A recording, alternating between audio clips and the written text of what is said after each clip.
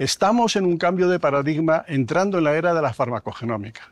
La era de saber cuál es el medicamento más apropiado en base a la información genética y los datos moleculares y de cuál es incluso la dosis y combinación correcta.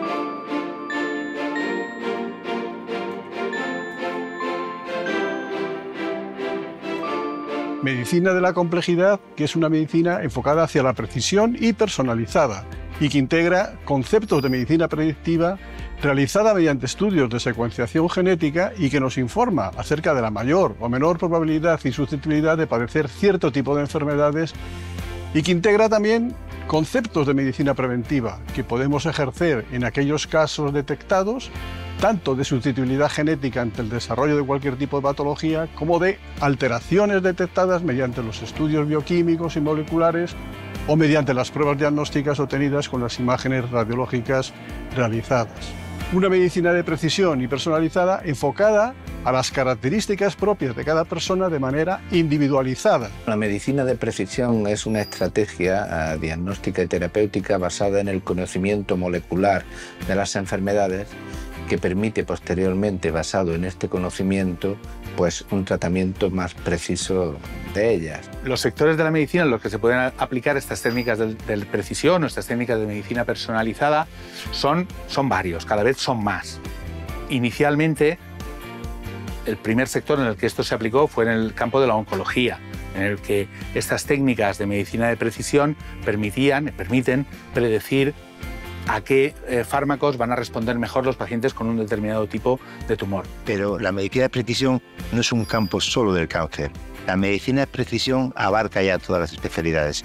En el campo de las enfermedades que llamamos no transmisibles, las enfermedades que tienen riesgo, por ejemplo, de riesgo cardiovascular o las que nuestro grupo se dedica, que es el trasplante y la autoinmunidad, también tenemos muchos marcadores y muchos mecanismos de medicina de precisión donde podemos aplicarlos. La medicina de la complejidad o medicina de precisión trata de integrar la genómica junto con tecnologías derivadas de la ingeniería biomédica. Las técnicas sómicas ayudan a conocer mejor la interacción entre los genes y el ambiente con el desarrollo de determinadas enfermedades. Las sómicas son todas las técnicas que empleamos en los laboratorios, desde el ADN, que es lo que hacer la gente como la genómica, ahí estudiamos polimorfismos y sobre todo mutaciones, mutaciones relevantes para, la, para producir la enfermedad. ¿Cómo podemos utilizar estas técnicas? Detectando factores de riesgo que van a actuar sobre nuestro organismo de manera que a la larga vamos a tener determinados tipos de enfermedades. Una parte de los factores de riesgo está determinada por nuestra biología, por nuestra genética. Otro tipo de factores son nuestros también, pero no son internos, son, digamos, comportamentales. ¿Qué tipo de alimentación tenemos? ¿Qué tipo de ejercicio físico hacemos? ¿O qué tipo de sustancias usamos a nivel tanto de drogas legales o ilegales o a nivel de fármacos que no dejan de ser sustancias químicas que si nos automedicamos van a actuar negativamente. Estas técnicas de precisión se pueden aplicar en todos los sectores asistenciales, tanto en la asistencia primaria en los centros de salud como la asistencia especializada en los hospitales y en la gestión de los pacientes crónicos en sus hogares o residencias tecnológicamente preparadas.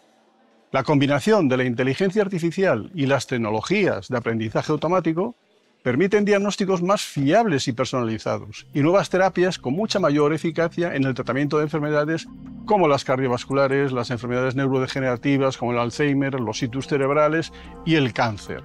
La medicina personalizada de precisión consiste en elegir el tratamiento específico que nos va a funcionar. Sí que me gustaría hacer un comentario. Todas las medicinas son personalizadas porque tratamos a personas.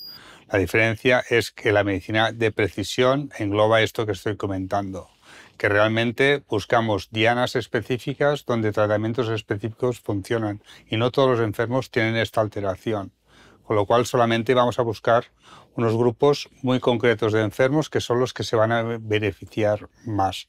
Hasta ahora lo que hacíamos era tratar a todos los enfermos, ver si respondían o no y si no respondían, pues cambiamos el tratamiento.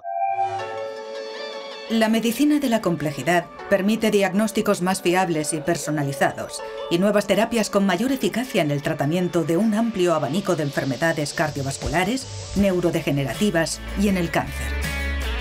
El proyecto Corte Cantabria fue un proyecto que en realidad nos planteábamos hace tiempo varios investigadores en el entorno de la universidad y del hospital, porque veíamos que Cantabria era un nicho estupendo para hacer un estudio de cohortes. Es un proyecto en el que queremos hacer un estudio de la medicina de precisión hoy en día.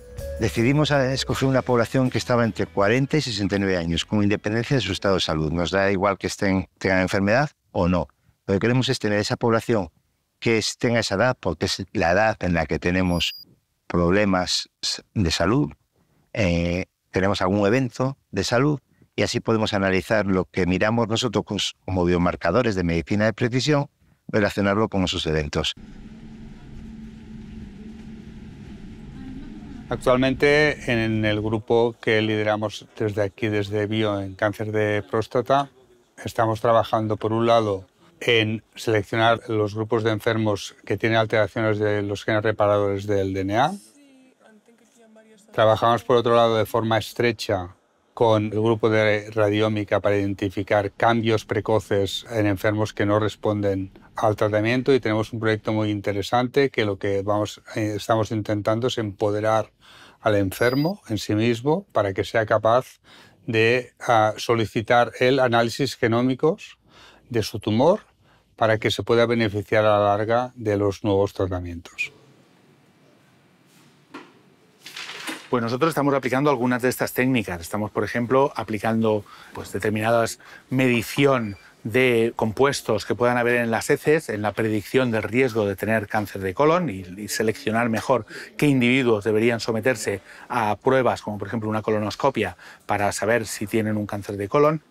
También estamos utilizando, por ejemplo, marcadores genéticos en los pólipos que extirpamos a, pacientes para ver si estos pacientes tienen un mayor o menor riesgo de desarrollar nuevas lesiones o cáncer de colon en el futuro, eh, una vez extirpadas estas lesiones, de manera que podamos optimizar o personalizar el seguimiento de estos individuos. El futuro de la medicina requiere una integración de los datos clínicos con imágenes médicas y datos moleculares del paciente, dentro de una historia clínica personalizada. Por este motivo, la mejora en el pronóstico y desarrollo de una enfermedad requiere una redefinición de los modelos sanitarios. El actual modelo sanitario en que nos encontramos es un modelo desfasado, centrado en el tratamiento de los pacientes con procesos agudos en los hospitales y pensado para las características demográficas y la longevidad de los años 50, con una esperanza de vida media al nacer de 68 años, por lo que no había prácticamente enfermos crónicos. Modelo que necesita renovarse y adecuarse a las características demográficas actuales con una esperanza de vida superior a los 83 años y unas necesidades de la población diferentes. El poder hacer un traje a medida para cada paciente es perfecto, es mucho mejor que no la misma talla para todos. Esto eh, nos lleva a que hasta hace poco el tratamiento, por ejemplo, que se aplicaba en cánceres era el mismo para todos los pacientes, ahora podemos seleccionar qué pacientes se van a beneficiar más o menos de determinado tratamiento y esto es un avance increíble. El reto que nos planteamos para el futuro tiene que ser siempre el mismo, mejorar la salud de la población y mejorar la calidad de vida de las personas.